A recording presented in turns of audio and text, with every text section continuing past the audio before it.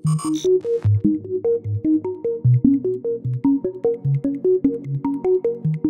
what's up you guys? If you're gonna be towing a trailer with your Chevy Impala, you're gonna need trailer wiring. It's required by the law. Just go ahead and break down that install for you.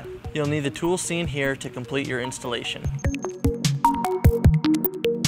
So we're gonna be working in our trunk area. We're going to need to access our taillight harness, which is behind both of our side panels. So to start, we're going to remove our floor coverings.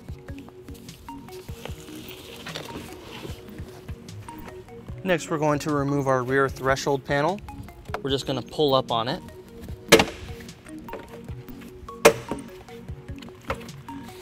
And that's held in by these clips down here. Now on the driver's side, we have two twist fasteners right here that we'll be removing. And these you can just unscrew by hand.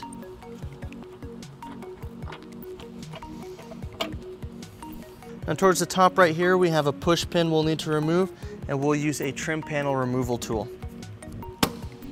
Now we're gonna go ahead and pull back on our paneling. Now inside our paneling, our tail light harness is gonna be right here. So we're gonna go ahead and disconnect it by pushing down on this tab. Now we're gonna take our yellow and brown wired T connector and we're gonna go ahead and plug it into our tail light harness. Right now we're gonna take our T connector with our green wire and we're gonna run it over to the passenger side and then we'll repeat that same process.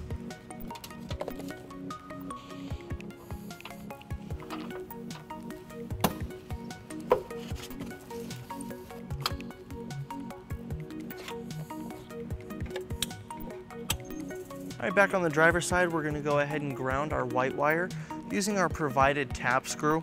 We're gonna ground it right here on this metal right here. All right, now inside the trunk area, we're gonna pull out this grommet right here, and this is where we're gonna pull up our power wire. Now we're ready to run our power wire from our battery to our module box in the back. Our battery is located right here in the engine compartment on the driver's side. If you just pull up this panel right here, all right, we're gonna be using our U-Haul exclusive power wire. This has a protective film on it and the fuse holder already connected to it. So we're going to attach it to our positive terminal right here, and that gives us our terminal that we'll be using. We're gonna go ahead and remove that nut using a 10 millimeter socket. Now we're gonna wanna make sure that there's no fuse in our fuse holder. And then we'll go ahead and attach our terminal. And we'll close our cover. Now we're gonna need to bring our wire down through the engine compartment underneath our vehicle. There's not a lot of room, but our best way is if we come down over here on the passenger side, we have brake lines that go down. So we'll bring our wire that way. Now underneath the vehicle, if you follow the brake lines underneath the passenger side, you should be able to see your wire coming out from the engine compartment. And we're gonna go ahead and just pull it down. Now that we have the power wire underneath the vehicle, we're gonna bring it up over this cross member right here and then we're going to follow these brake lines all the way to the back. And we're going to be using zip ties to secure our wire to the brake lines.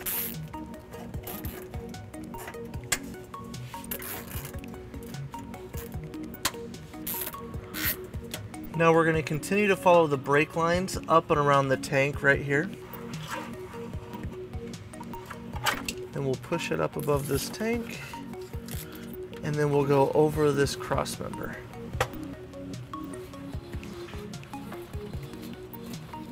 All right, now we're going to be following the brake lines over towards the driver's side.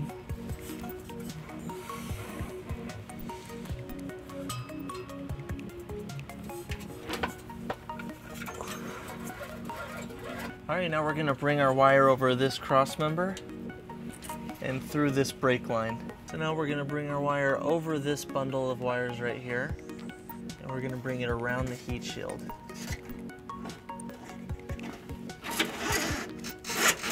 All right, now that we have our power wire towards the rear of our vehicle, we're gonna go ahead and bring it into our trunk area. Let's show you how that's done. Now we'll take our wire and we'll push it up towards that grommet.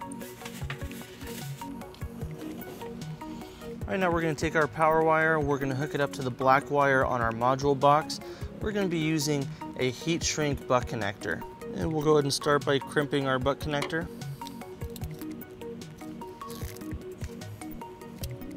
And now we'll use our butane torch to use the heat shrink. All right guys, with everything attached, let's go ahead and show you where you can store your four flat harness.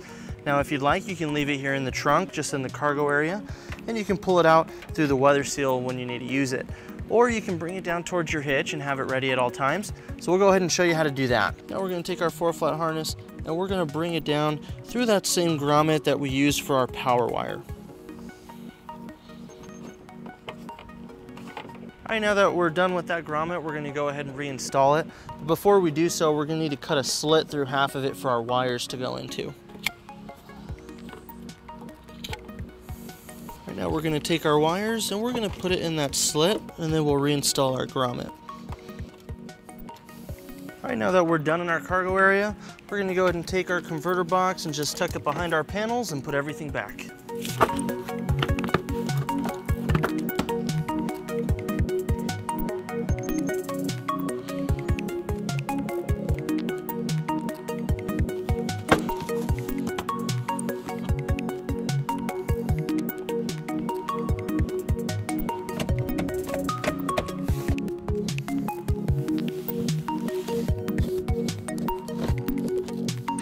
Right, now that we have our four flat harness underneath our vehicle, let's go ahead and bring it towards our hitch.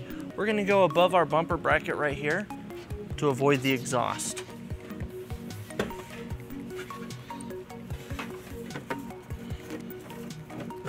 All right, now we're gonna go ahead and secure our four flat harness using a four flat mounting bracket. This is not included in our kit, but you can pick it up at your closest U-Haul center or at uhaul.com. Now we're gonna line it up and then we'll drill our first hole using a 3 16 drill bit. Next we'll bring our screw into place and then we'll go ahead and attach our mounting bracket. And then we'll drill our second hole.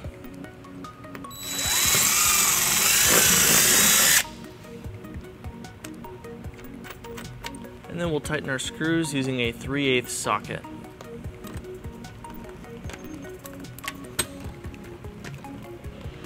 Now we'll take our dust cover and put it onto our harness.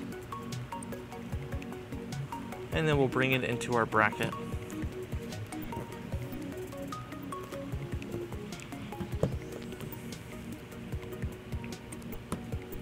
All right, back in the engine compartment, we're gonna go ahead and locate our fuse holder. We're gonna take the cap off, and now we will insert the included 10 amp fuse.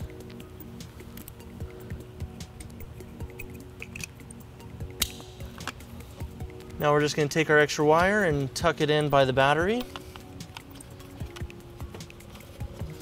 And then we'll reattach our battery cover. So that wraps up our install. Thank you for watching our video. If you have any questions or need more information, you can visit our closest U-Haul Hitch Center, or you can visit us online at uhaulhitches.com. Thank you.